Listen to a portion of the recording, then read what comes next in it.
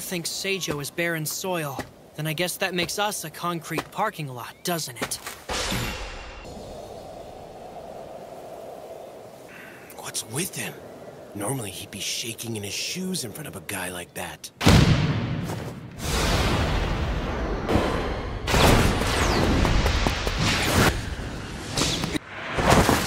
I'm Shoyo Hinata from the Karasuno parking lot.